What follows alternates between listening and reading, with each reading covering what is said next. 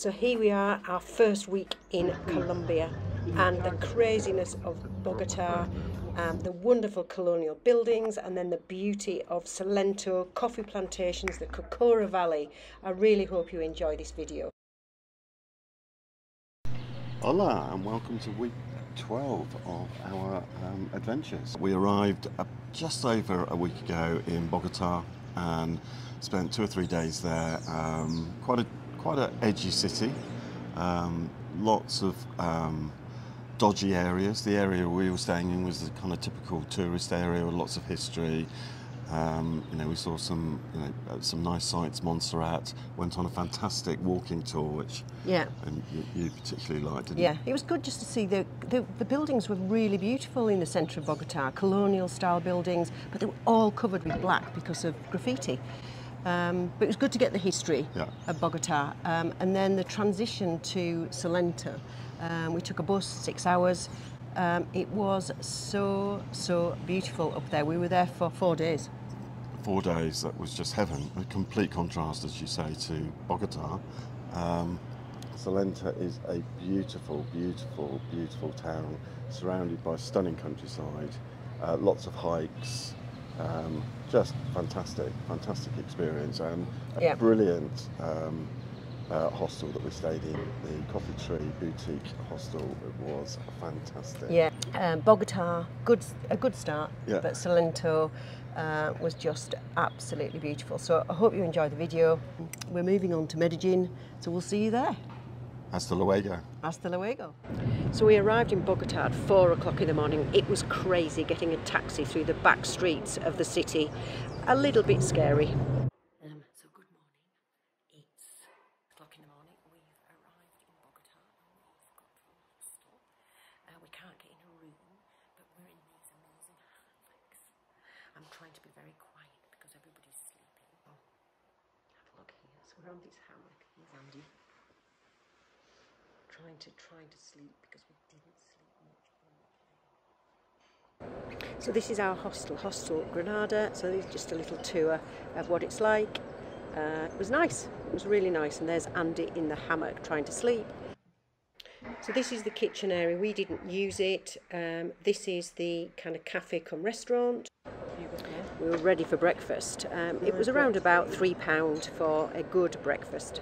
And this is the outside of our hostel, Hostel at Granada in the old town. Here in the old part of Bogota. Here, Candelaria. Partly now. We're here in uh, the centre of Bogota. So all these magnificent buildings around the Plaza Bolivar were covered in red, in black drapes, and this was to stop graffiti. We did a brilliant um, walking tour. Uh, we got a really good feel of the history of Bogota, uh, as well as tasting some juice and some coffee. That's the coffee shop that.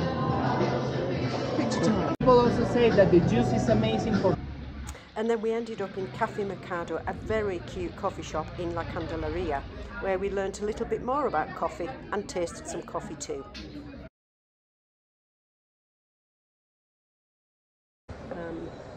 And here are a few shots of um, La Candelaria.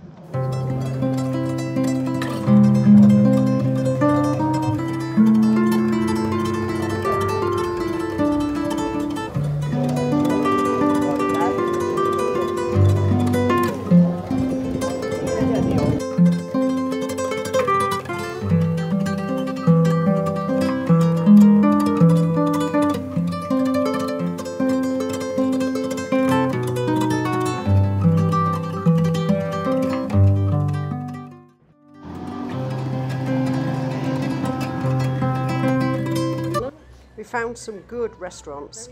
Um, the Huitzilin restaurant um, was a bit like being in a Coco film, and we had free shots.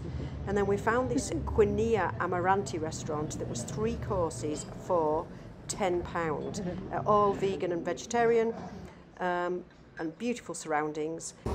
And then the second evening, we went down to the next hostel, Hostel Selina, who had a restaurant and bar. We had a great night. It was jazz night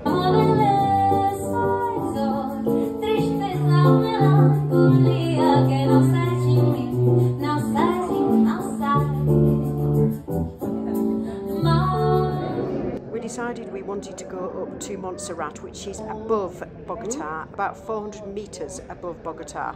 Uh, but we took the cable car rather than walk. So we're here at the top of Montserrat it's absolutely incredible. It's 2,600 metres, so I'm going to check out how high we are here. But every step you take, it feels as though you're using a lot of energy. So here we go.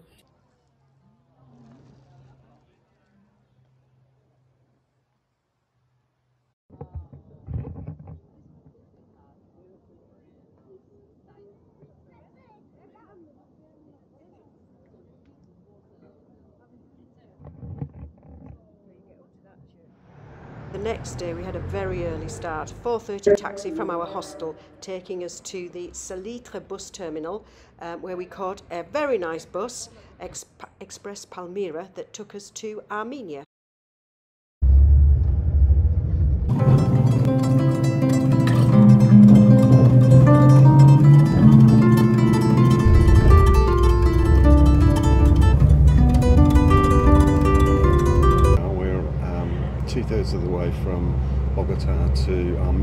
Which is a dropping, a stopping off point en route to Salento.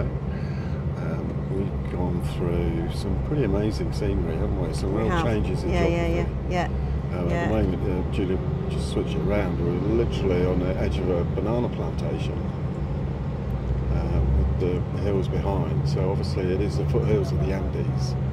Um, but we're coming down from started at 2,600 in Bogota go down to 1,500 metres when we get to Salento. Good to do the journey through the day so we've been able to see this. Yeah. Because you yeah. can, we set off at 6 this morning um, and we're due to arrive at 2.15 although I get the feeling it might be a bit later.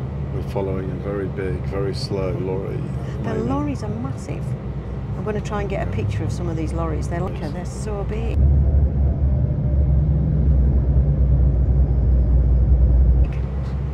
Anyway, just do another shot of what we can see out of the window. There we go. Orange tree. Oh yeah.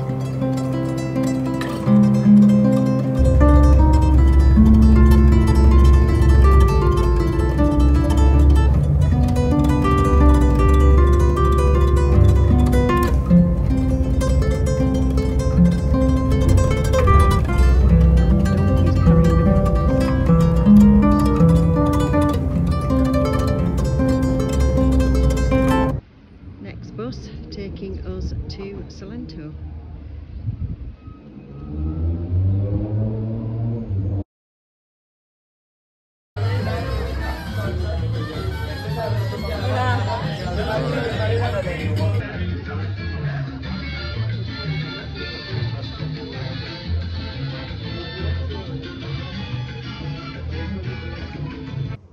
this is the Coffee Tree Boutique Hostel. It's situated on the edge of Salento, about a five minute walk, um, just on the edge of town with fantastic views. Um, you can see some lovely outside space with tiered gardens. Um, this pathway leads down to a further area which is covered and it's got uh, hammocks and a bonfire pit. The staff are fantastic, uh, really friendly, efficient, and very, very helpful. Uh, so inside, really nice light and airy reception area with comfy chairs, tables. There's a kitchen for uh, the hostel um, guests, and then upstairs, massive um, balcony space overlooking the reception area and again these lovely, wonderful views.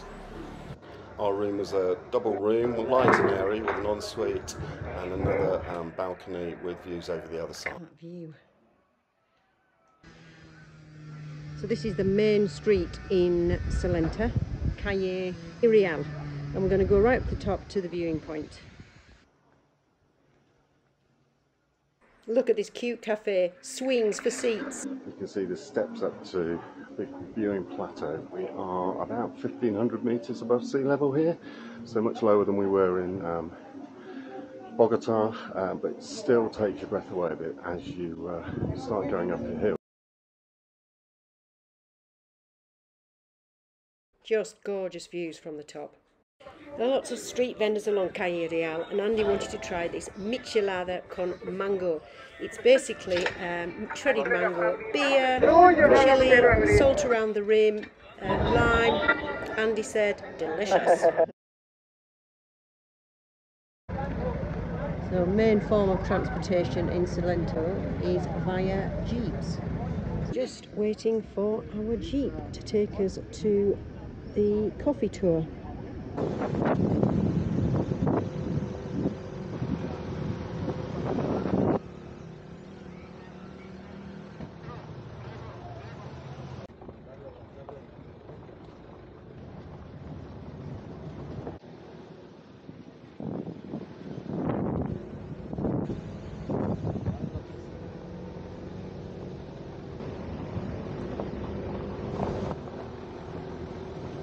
This is the Ocaso coffee plantation where, where we had our coffee tour. It's from a small village from Ethiopia called Kafa. That is why in the translation, today we know it as coffee or cafe because of the place where we found it. But then how is it discovered? There is a lot of different stories of how is it discovered, but the one biggest part of the market of coffee in the world. The other one, the other one, which is like a little popular, is called Liberica. So we're now picking picking coffee beans and we've got to find the yellow or the red ones. Yellow and red. Yeah, there's my beans that I've picked. So if you want, we can choose a new one because we have. What I see here is right there. This is a like a tiny funnel.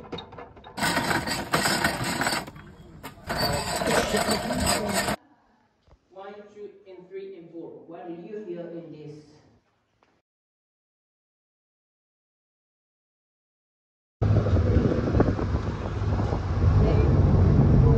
The lady at the uh, kiosk has just told us it's going to be six hours. So, And Mia, it feels like Encanto. well, there's big signs all uh, everywhere saying with um, where you can get your photograph taken with Encanto.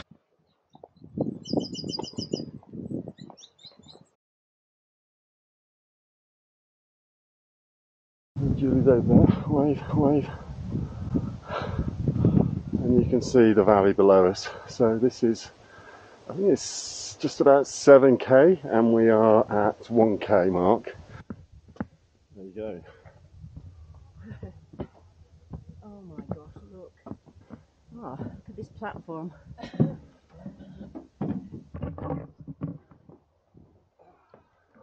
And the cloud cover coming in. Look. Yeah, got my rain jacket. There's two parrots.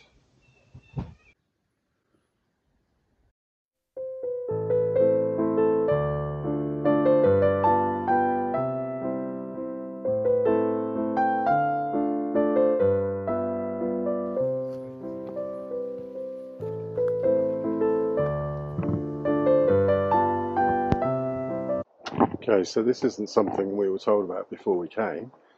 Um, puma on the collar. Leon de Montagne.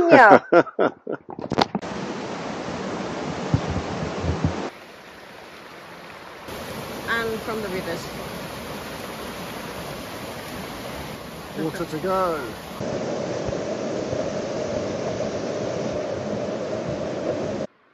We're here at the Acaime Nature Reserve.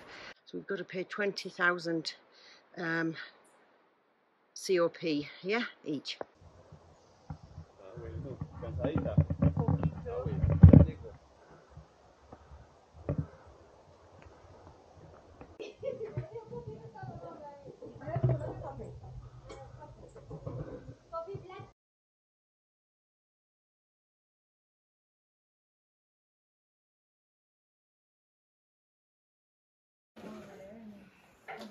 So we're just at the Acaime Natural Reserve having a hot chocolate.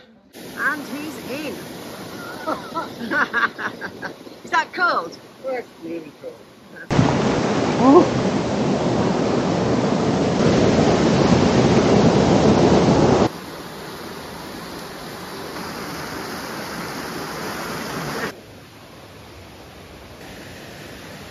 So I'll speak really loudly because I haven't got the microphones on um, and we are just below the waterfalls Andy is in again.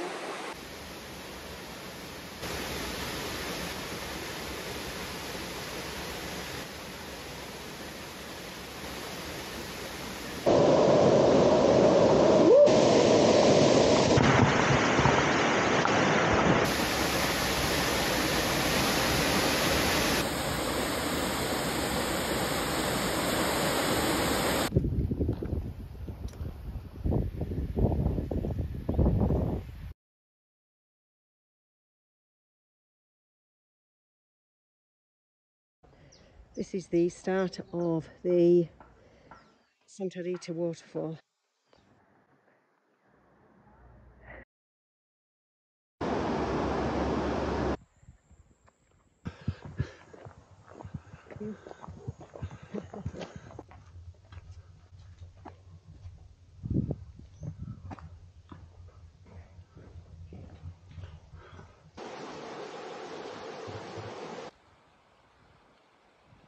So there's a guy serving food at the top. Uh, so we like chocolate and cheese, believe it or not.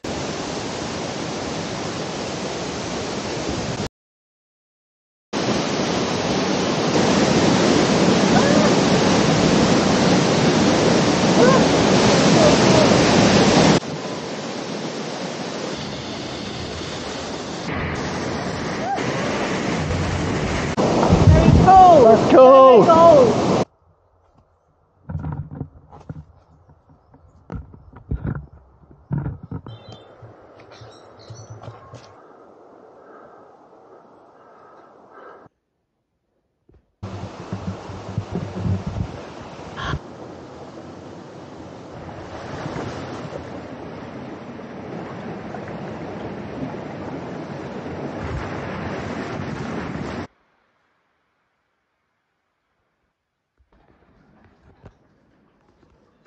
Have you got it?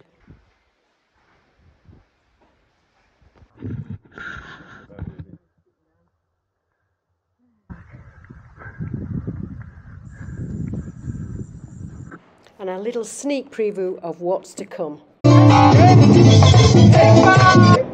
Now, this is one of those